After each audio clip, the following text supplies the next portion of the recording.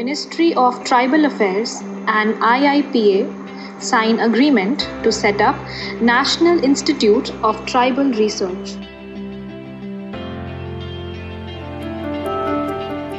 Assam government adds additional 3053 hectares to Kaziranga National Park. Vice President Venkaiah Naidu releases State of Young Child in India report.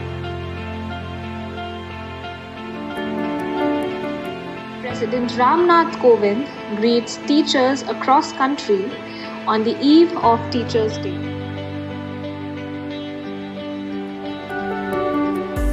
Union Minister Nitin Gadkari announces India has now the second largest road network in the world at 60th annual convention of SIAM.